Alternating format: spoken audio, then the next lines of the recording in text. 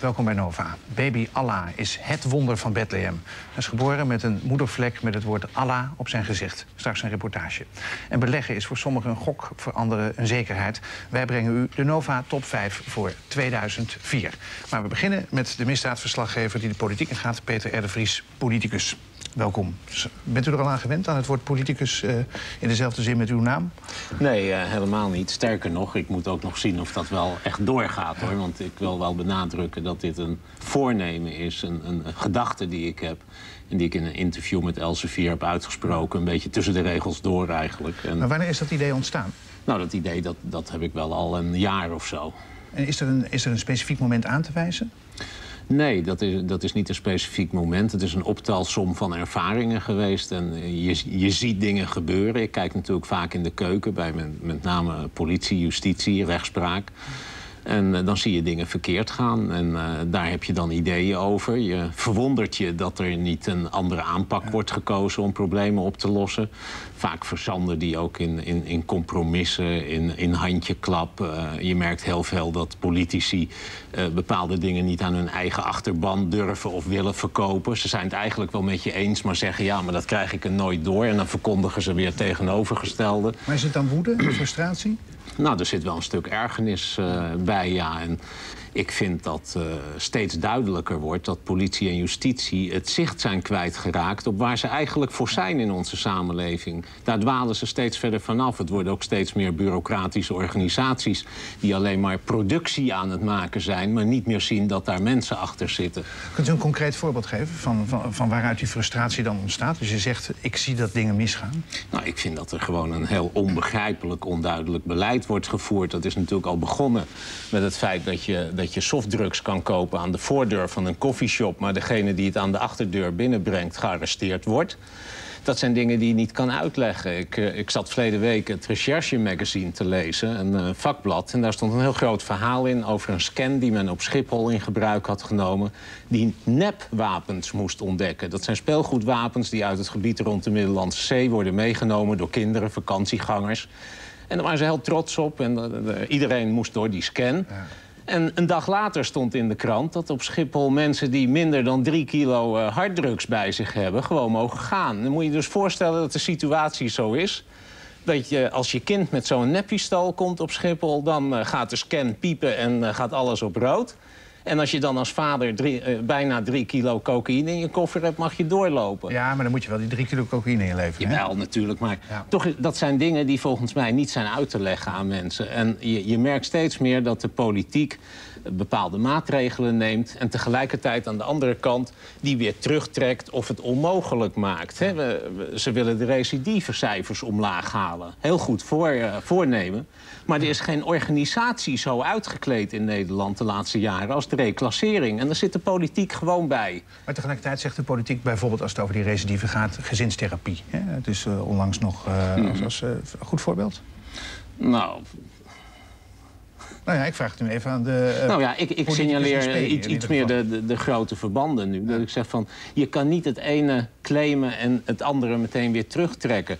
Uh, ze willen dat uh, de rechtbanken meer zaken gaan behandelen. Vervolgens wordt er bij de Amsterdamse rechtbank, om maar eens eentje te noemen, 4,3 miljoen gulden bezuinigd. Ja.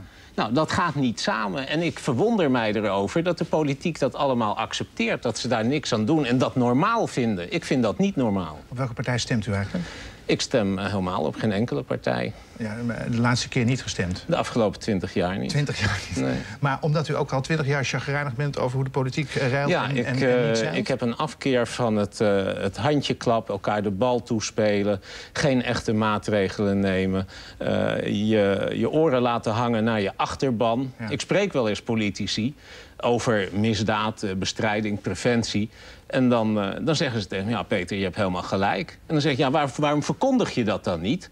En dan zeggen ze, ja, maar dat krijg ik er bij mijn achterban nooit door. En vervolgens gaan ze dan dus iets verkondigen... waar ze het eigenlijk helemaal niet mee eens zijn. Nou, daar word ik misselijk van. Maar als u die politiek gaat, dan zult u toch deel uit moeten maken van dat circus? Nou ja, het punt is nu juist, en misschien heb ik daarom ook wel heel lang ge gewacht en geaarzeld... Uh, dat ik daar eigenlijk geen deel van uit wil maken. Maar dat kan alleen als je de enige grote partij bent. Nou ja, je moet in ieder geval uh, een factor zijn. Een hele grote factor wil je iets kunnen bereiken. Want ik heb geen zin om aan het spelletje zoals het nu gespeeld wordt... om daaraan mee te doen. Dat bekoort mij totaal niet. Maurice de Hond heeft, uh, uh, heeft een stemming gehouden vandaag. En die zei van 15% van de Nederlanders geeft aan... stemmen op deze partij, dat is dan uw partij, te overwegen. Dat zijn ongeveer 20 mm. zetels. Hè? En als u nu mee zou doen, dan zou u er dus zonder enige campagne... of wat dan ook, al zeven hebben. Is dat een getal waardoor u zegt, nou, nou wil ik wel meedoen? Nou, dat hangt van veel meer factoren af. het is een, uh, een, goed, een, goed, geluid. nou ja, van de actualiteit. Wat is de eh, actualiteit, bedoelt u dan? Nou, wanneer er weer verkiezingen zijn. Ja. Uh, maar er spelen natuurlijk ook privéfactoren. Van, ja, wil je dat wel gaan doen? Die, die afweging moet ik natuurlijk ook heel goed maken. Daarbij... Uh, doe ik nu ook uh, in mijn ogen belangrijk werk. Ja. En uh, ik heb net weer een contract voor twee jaar getekend bij Dus dat betekent bij dat u sowieso twee jaar niet de politiek in zou kunnen? Nee, dat, jaar. dat zou uh, heel moeilijk zijn. Je kan misschien dingen voorkoken, voorbereiden. Maar, uh... Ja, maar goed, ik kan me niet voorstellen als u nu 60 uur per week aan uw programma werkt... dat u dat dan opeens met 10 uurtjes af kan raffelen. Nee, zeker niet. Nee, nee. Nee, dus dat zijn allemaal dingen die meespelen. Ja. Waar, ja, als u al 20 jaar niet stemt, is het moeilijk om te zeggen waar, waar u nou staat. Hè?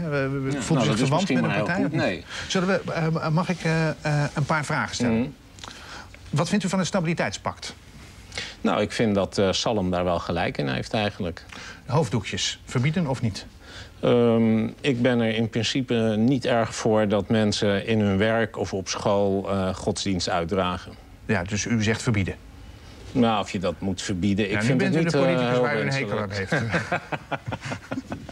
Twee op een cel? Daar ben ik tegen. Uh, meer op een cel of één op een ik cel? Ik ben één op een cel. Ja, goed. Allochtone stop? Nee, daar ben ik niet voor. Met drie kilo coke over de grens komen. Ik neem al aan, uh, u net gehoord hebben dat u daar ook tegen bent. Um, nou, ik, misschien moet ik iets anders zeggen. Ik zou ervoor zijn als uh, drugsgebruik uh, werd vrijgegeven in Nederland. Zowel soft als hard? om te beginnen met softdrugs en uiteindelijk ook met harddrugs. En ik zie ook niet in waarom je wel je helemaal te pletter mag roken of drinken. En op een pakje sigaretten staat, hier ga je dood aan en dat ligt in de winkels. Ja. En daar winnen we ontzettend veel accijnsen mee als overheid. Ik vind, dat, dat vind ik dingen die niet uh, samengaan. Maar die politici die u wel eens spreekt, die zeggen misschien... nou, Peter, ben ik wel met je eens, maar dat kan niet vanwege Europa. Ja, precies. Ja, nou ja, goed. Maar de vraag is of je daar wat van moet aantrekken. Er gebeurt wel meer in de wereld wat wij ook niet leuk vinden... en wat die landen even goed doen. Als je nagaat dat, dat, dat 60 procent... Uh, uh, van de mensen die in de gevangenis zitten in Nederland drugs gerelateerd is... er ondertussen geen gram drugs minder op straat te krijgen is... Ja. moet je je afvragen of je de bakens niet eens moet verzetten... of dat je maar blijft dweilen met de kraan open... waardoor andere misdrijven, zoals gewone inbraken, mishandelingen... niet behandeld worden. Ja. Spreiding van macht, geld en kennis. Zeg maar uh, de oude driedeling van Joop de Nijl. Nou ja, ter opzicht denk ik dat niemand tegen spreiding is. Doodstraf? Ben ik absoluut tegen. Zal onder mijn bewind nooit worden ingevoerd. Hoort u zelf al praten? Zal onder mijn bewind nooit worden ingevoerd? Verhogen van de maximumsnelheid? Uh, daar ben ik wel voor. Hoeveel agenten ik... moeten erbij? Er moeten behoorlijk wat agenten bij en die moeten ook beter betaald worden. Maar ze moeten ook harder werken. Want ik vind dus dat de gemiddelde agent niet hard genoeg werkt. Nu nog even specifiek over de politieke partij. U zegt, ik heb nog even mijn twijfels. Het hangt van een aantal dingen af. Ik moet thuis nog even bepraten. Ik heb nog een uh, twee jaar contract bij uh, eh, SBS6 en Endemol. Stel dat die verkiezingen er gewoon komen zoals uh, het kabinet het nu hoopt. Namelijk pas als ze aan het einde van de rit zijn. Zou u dan overwegen om mee te doen? Ja, dat heeft u net al gezegd. Nou, hè? daar zit ik over ja. te denken. Maar wanneer valt dat beslissingsmoment? Kan ik niet aangeven. Daar laat ik me ook niet uh, door onder druk zetten. Ik ben het aan, het aan het overwegen. En het is eigenlijk toevallig naar buiten gekomen dat ik dat doe. En doordat iedereen er nu opduikt, ga ik niet zeggen... ja, nu ga ik een deadline voor mezelf stellen. Ik, ik neem de beslissing en niemand anders. Aansluiten bij een politieke partij? Welke nee, geen denk aan. Heeft u al gesproken met Herman Heinsbroek? Nee. Die zei, ik zou wel met hem willen praten... maar ik wil wel het lijsttrekkerschap houden. Dus, uh, Moet hij zelf een partij beginnen. Heeft u nog gesproken met, mag ik een paar noemen? Harry ja. Wijnschenk, nee. uh, Spong, Hammerstein, nee. Knoops? Nee. Met wie wel? Uh, Brouw Moskowitz. Ja? Is dat een naam? Ja, dat is een naam. En wat zegt hij? Nou, die uh, vindt het allemaal buitengewoon interessant. En zou met u mee willen doen? Die uh, neigt daar wel toe. Ja. Nog meer mensen die u nu kunt noemen? Nee. Bent u eigenlijk van onbesproken gedrag? Want dat moet je ook zijn als politicus. nou, ik ben van uh, vlees en bloed en niets menselijks is mij vreemd. En, hars gerookt? ik heb nooit hars gerookt. Uh, eens in de cel gezeten? Ja, als uh, jongen heb ik wel eens wat gepikt bij V&D en daarvoor in de cel gezeten. Ja. Verder nog? Nou, ik heb ook wel uh, dubieuze vriendschappen op nagehouden... om uh, u maar even voor te zijn. En, maar daar ben ik altijd eerlijk over geweest. Ja, dat is overigens ook geen probleem, toch? Lijkt mij niet. En als de mensen er wel een probleem mee hebben, dan zeggen ze dat maar. Nou, nog even tot slot de naam. Die heb ik in gedachten en die houd ik voorlopig in gedachten. Waarom, waarom zit daar enige geheimzinnigheid aan? Omdat als ik die naam nu prijs zou geven... dan wordt het allemaal een self-fulfilling prophecy. En dat wil ik niet, want ik ben nog heel goed aan het nadenken... of ik het wel moet doen. Hè? Schoenmaker hou je bij je lees, dat soort dingen spelen ook enorm. En er zijn ook mensen die tegen mij zeggen... Peter, wat je nu doet, daar heb je misschien wel veel meer invloed mee dan dat je straks uh, in de politiek zit. En dat zijn dingen die ik wel heel erg te harte neem ook. Lijst R? Veiligheid nu? Nee, nee, je raadt het nooit. De partij van die lange? Goed. Komt u bij ons vertellen als het zover is? Dat wil ik best doen. Goed, dank. Oké. Okay. 10.000 mensen zijn al op kraamvisite geweest bij baby Allah, de wonderbaby van Bethlehem. Het jongetje werd eind november geboren met de naam van God op zijn gezicht. En dat komt niet zomaar, blijkt uit de bijdrage van correspondent Ankie Regges. Het wordt dit jaar opnieuw geen vrolijke kerst in Bethlehem. Ooit trok de geboortekerk van Jezus massa's pelgrims. Nu komt hier bijna niemand meer. De souvenirwinkels hebben de deuren gesloten. De lokale economie is ingestort. Toch lijkt hier, na 2000 jaar, weer een wonder te zijn geschied.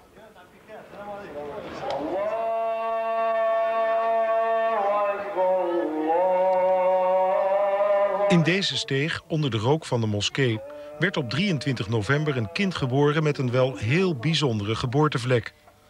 Op zijn gezicht staat in duidelijke Arabische letters de naam Allah. من فضل الله هذه كرامة إلى اللي كتب لنا ربنا هذا خط رباني مش كتابة يد بني آدم شوفي كيف محلى اسم علاء على خد الولد آه لا behind the ear, there is the apostrophe Allah. Yeah. L, A, Allah. And the is behind the ear, Allah. Er is meer. Baby Allah werd geboren op de heiligste dag van de Ramadan. En zijn komst is ook nog eens voorspeld. Zijn oom, die ook Allah heette, werd acht maanden voor de geboorte doodgeschoten door het Israëlische leger. Na zijn dood werd hij vereerd met dit gedicht.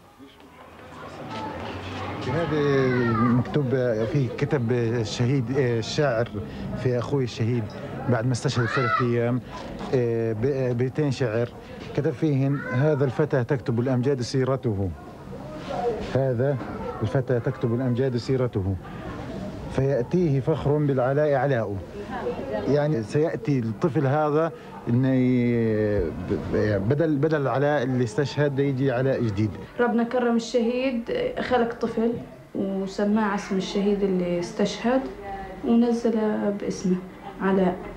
يعني ربنا استشهد علاء ربنا جاب يعني جاب اجى علاء بداله. إن شاء الله. هي معجزة. الناس بيقولوا معجزة.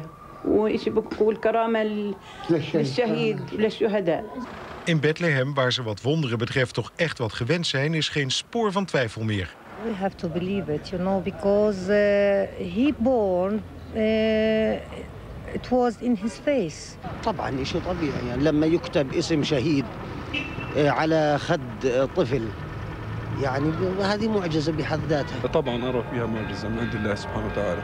انه يجي طفل مكتوب اسمه علاء يعني وعمه شهيد يكون علاء. شوف شو مكتوب Baby Allah is inmiddels een fenomeen.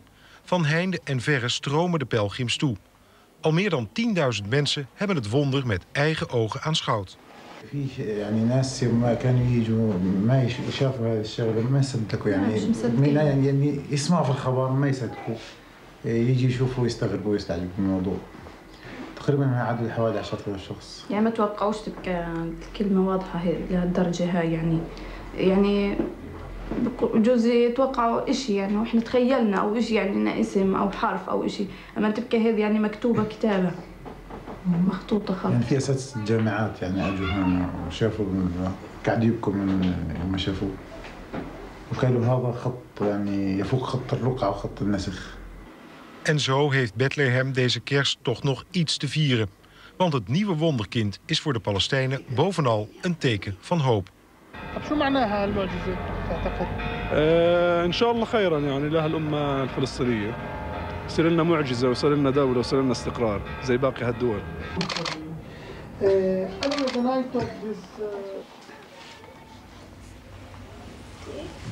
Ja, onze correspondent Ankie Reggers heeft na het interview nog even met een natte duim over het wangetje van de baby gewreven. En het ging er niet af.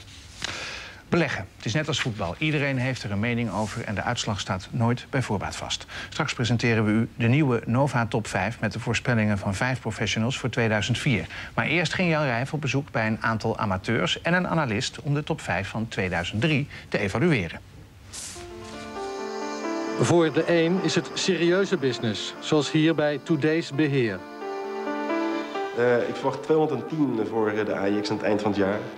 En 6500 voor de Dow. Dus dat zijn fors lagere standen dan dat we nu zien. We hebben het dan over eind 2004, hè? We hebben het dan over eind 2004. Voor de ander is beleggen ter lering. Zoals bij de Twentse beleggingsstudieclub Duitenberg. Secretaris, jullie zijn niet compleet, hè? Nee, het aantal van onze leden is op uh, wintersport uh, vanwege de goede beleggingsresultaten. Dit jaar? Ja.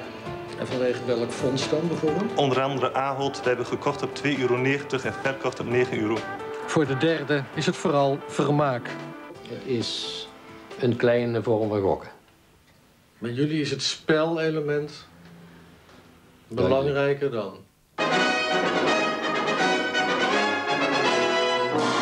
Allemaal keken ze vorig jaar naar de Nova Top 5.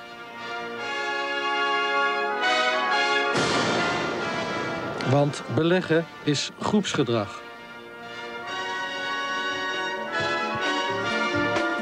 Deze groep steekt al jaren de nek uit.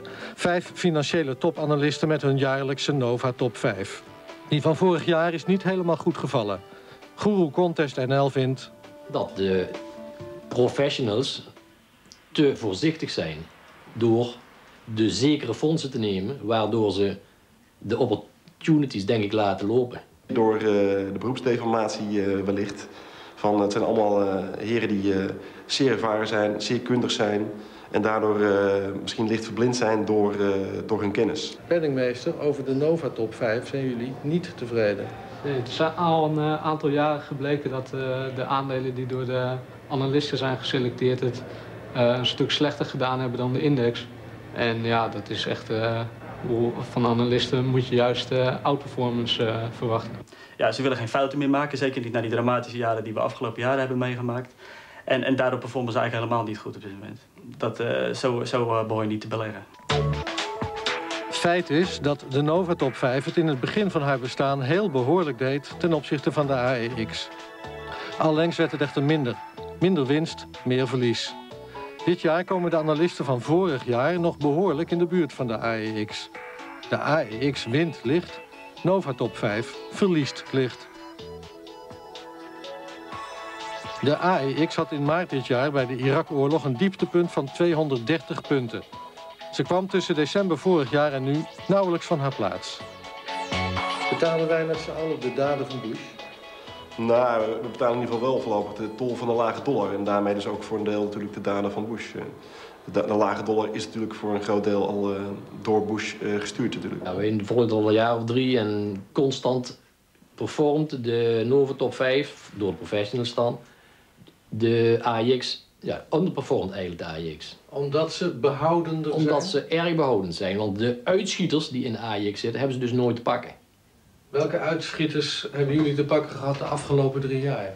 Uh, vooral Getronics is uh, heel belangrijk natuurlijk. En uh, op dit moment ook fondsen als uh, het, Pink Rocade en Randstad, Vedior. Dat zijn de, de, uitschieters en die komen niet voor in de Nova Top 5. Maar zien onze mannen de Nova Top 5 als een grap? Of zit er ook de expertise echt van hun hele bedrijf achter... en wordt er wel serieus even over vergaderd? Ja, er, wordt, er wordt heel serieus over vergaderd over dit soort dingen. En dan natuurlijk praten over media exposure... En uh, dat is zeker geen grap natuurlijk. Dus uh, ja, de heren zullen er zeer serieus uh, ideeën erover hebben. Ter verdediging, er waren er ook een paar die echt zeiden van... nou, de groei die komt wel, maar die vlakt weer af. Mm. Ik bedoel, de, de toon was duidelijk. pessimistischer dan de laatste, nou ja, drie, vier, vijf jaar, bij wijze van spreken. Uh, klopt. Uh, maar dat moest natuurlijk ook wel, want ze hadden twee jaar lang hebben ze echt uh, behoorlijk het lid op de neus gekregen. 2003 wordt natuurlijk een klein beetje, in ieder geval de eerste paar maanden van het nieuwe jaar, overschaduwd door de mogelijke consequenties rond Irak. Ehm, dat valt ook nog eens een keertje in de periode dat beurzen per saldo altijd wel goed doen. Die eerste paar maanden van het jaar zijn beurzen over het algemeen altijd wel in de positieve stemming. Vervolgens krijg je de zomermaanden, dan gaat de klatter altijd weer een klein beetje in. En dan moet je pas weer echt wat verwachten in het najaar. Nou ja, dat zou dus in het ergste geval kunnen betekenen dat je het al over het einde van 2003 hebt. Voordat beurzen echt weer eens wat zouden herstellen vanaf het huidige niveau. En nu zaten ze maar een heel klein beetje in de min. Ik bedoel, gruwelijk, gruwelijk was het niet dit jaar. Nee, klopt. Maar als je dus gaat vergelijken met uh, performance die je gemist hebt... Dus uh, bijvoorbeeld kijken naar de Nasdaq of de Dow of naar andere indices... dan uh, heb je natuurlijk heel veel gemist. Ze zijn ook, uh, laten we zeggen dat je Getronics gekocht had... die zijn op bijna, wat is het, 80, 90 procent hoger. Dus echt een enorme stijging hebben die achter de rug. De studenten in Enschede zijn voor 2004 gematigd optimistisch. Twee sectoren zijn de oliesectoren en de farmacieaandelen. Beide sectoren betalen een mooi dividendrendement en we verwachten er veel van. En, ze hebben een mooie waarderingen. Dividend, zoals gezegd, is goed. En ze zijn dit jaar achtergebleven, dus we denken dat ze volgend jaar toch mooi omhoog kunnen. En de leden van Guru Contest NL hebben ook zo hun favorieten. Wij denken dat de Hagemeijer goed gaat scoren bij de deelnemers. Van de Molen, die op het randje van de afgrond staat. En die zullen zeker niet genomen worden door de professionals. Want die durven dat risico niet aan. Dus twee echte, eigenlijk, gokfondsen. Wij echter komen zo meteen met onze eigen analisten terug van weg geweest.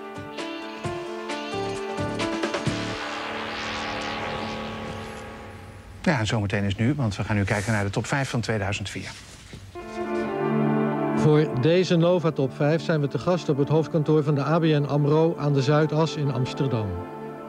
Vijf heren. Vier deden er vorig jaar ook mee. Er is uh, reden tot zelfkritiek. Je moet altijd zorgen dat je niet verrast wordt door bepaalde gebeurtenissen. Je kunt er wel verrast door worden, maar dan mag zo'n verrassing niet al te veel effect hebben op, op jouw keuze van aandelen voor een bepaald jaar. Dus achteraf zijn jullie met z'n allen te behoudend geweest? We zijn dit jaar te behoudend geweest, heel duidelijk. Daar is wel een reden voor. We hadden twee hele slechte jaren gehad. Uh, dan wil je niet uh, meemaken dat een derde jaar je met wat, wat risicovollere beleggingen uh, wederom het schip ingaat. En daarom is die behoudendheid is wel te verklaren, maar achteraf zeker niet goed. Nou, als we kijken naar de situatie vorig jaar, we stonden aan de vooravond van een oorlog. het jaar als geheel, ook economisch, zag er vrij mager uit ja, dan grijp je al heel snel terug naar de wat defensievere aandelen. Mhm. En juist die aandelen die uh, op het puntje stonden van wellicht failliet te gaan, ja, die hebben een hele mooie reden laten zien. Ja. Maar terugkijken, bent u zelf tevreden over wat u als totaliteit heeft voorspeld? Denkt u, nou, zo slecht is het nog niet? Ik zou dezelfde aandelen gekozen hebben.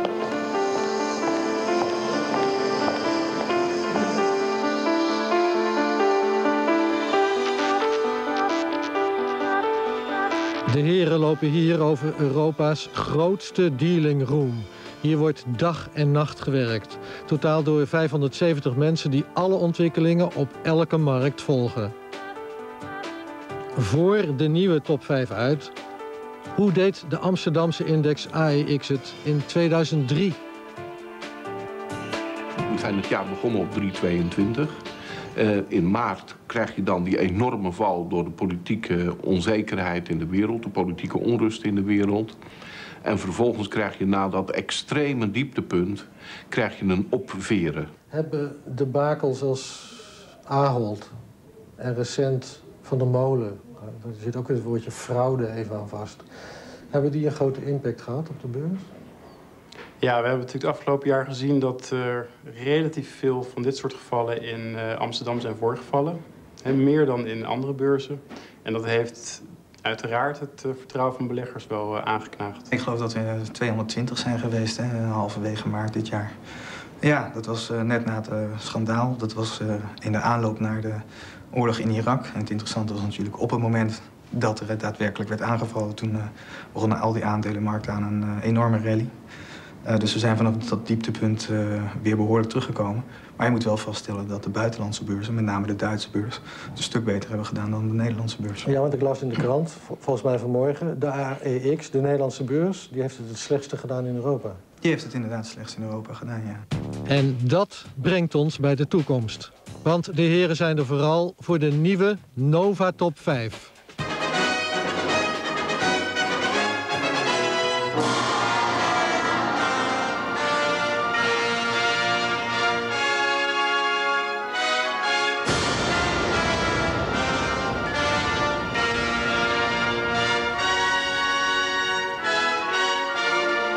Analisten maken hun eigen top 5. Hun nummers 1 krijgen 5 punten, de nummers 2 4 punten en zo verder naar beneden.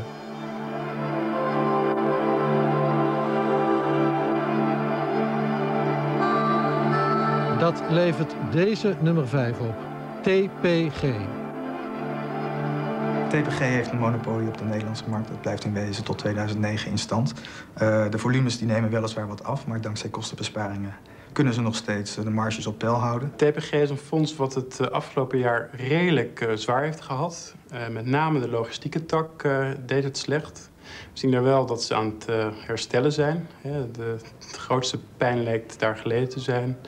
Uh, als je kijkt naar de postmarkt, dan doen ze het uh, erg goed. Hè? Ondanks het feit dat er uh, steeds meer ge-mailed wordt. En het belangrijkste is eigenlijk dat bij de divisie logistiek... toch een derde van de omzet ongeveer... waar de marges de afgelopen kwartalen steeds zijn teruggelopen... hebben ze in het derde kwartaal echt structureel ingegrepen... en vanaf dit moment kunnen die marges weer aantrekken.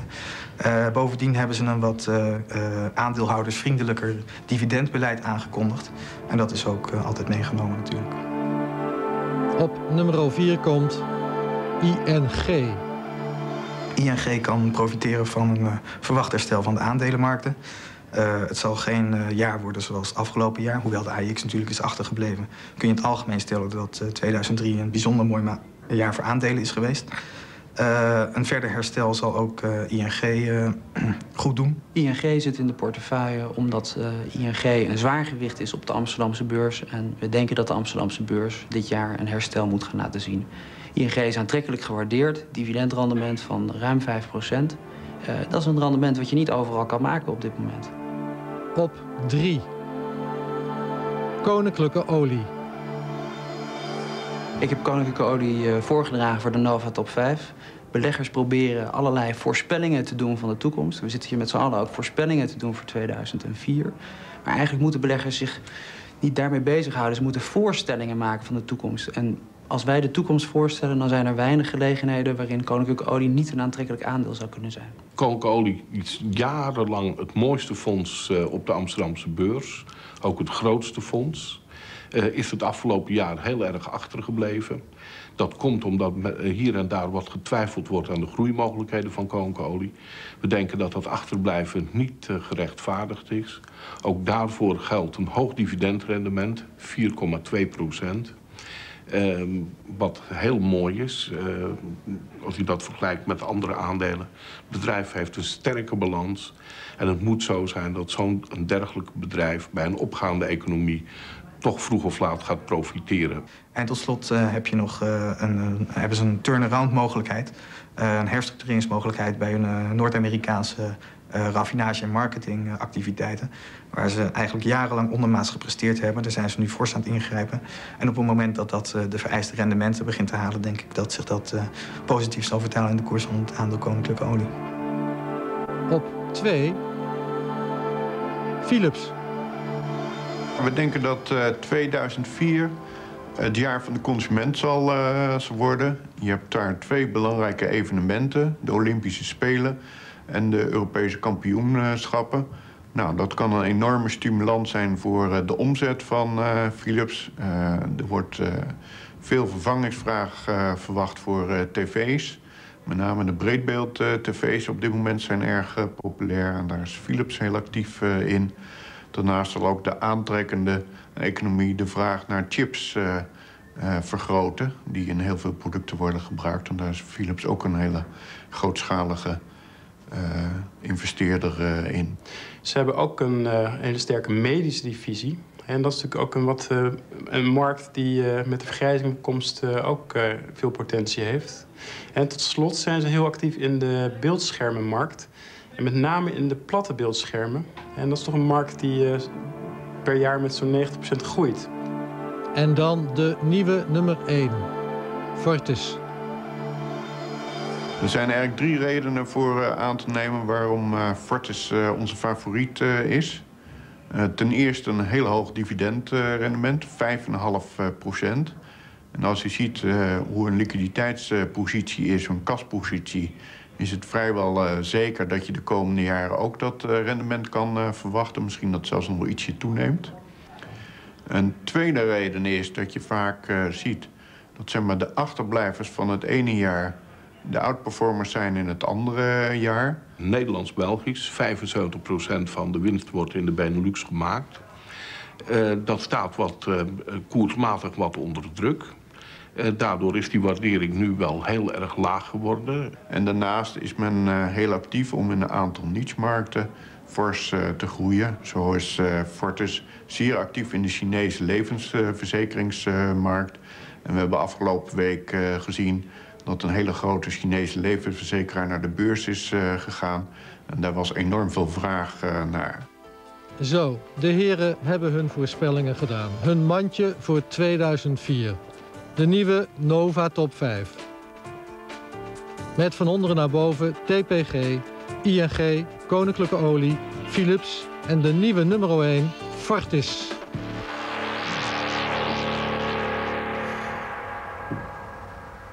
Nou, het duurt een jaar voordat u weet of u goed zat daarmee. Um, maar wij zijn er zaterdag weer. Fijne kerstdagen. Goedenavond.